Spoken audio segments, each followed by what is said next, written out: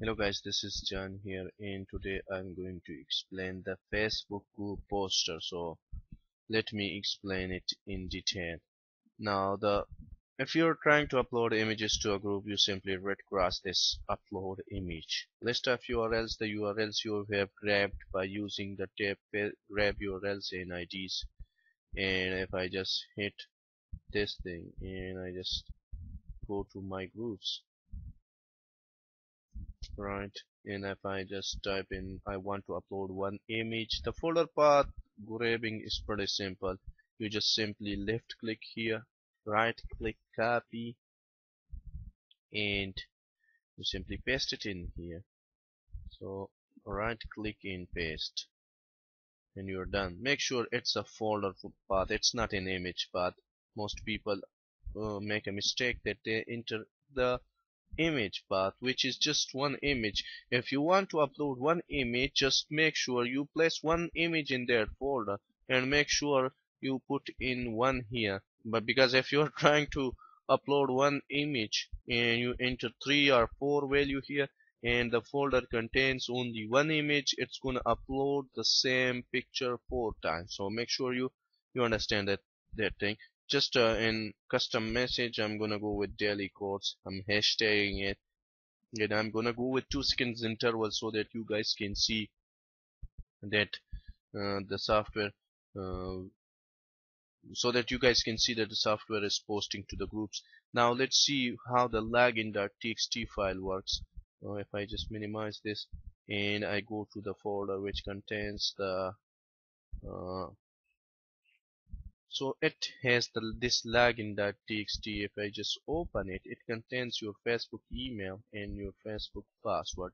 So I'm gonna go with my Facebook email. I'm gonna replace this thing with email.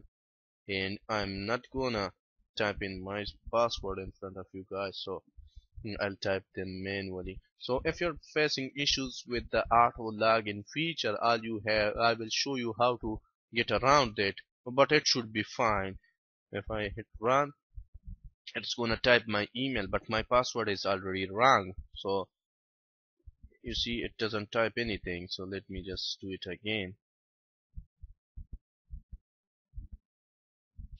Okay. Uh, I'll pause it because I have moved the software into the folder and the software was already open. So it's not it, it's it's reading from desktop. So it should not um, but if you replace it it should be fine. So I'm gonna type in my email. Make sure it's paused not stopped okay? And when you log in manually all you have to hit run. Now it's going to it's going to navigate to each group on this list and post to those groups and upload an image. Random it picks a random image from that folder and goes in in uh, and it. Now I have uh, I have another idea as Facebook is getting pretty strict. So I'm thinking of changing this these messages with random message with random image.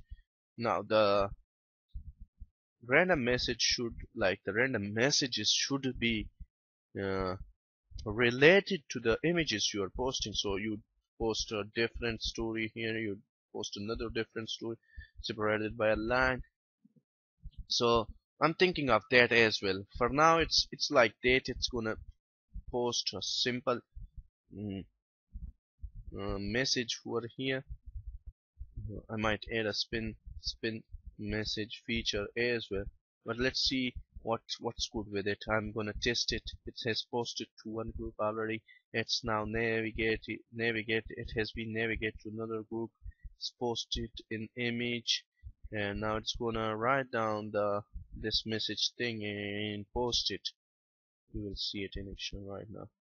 See post boom.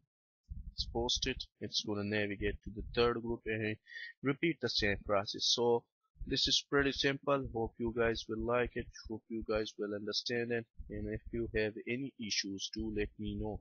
Thanks. Have a blessed day guys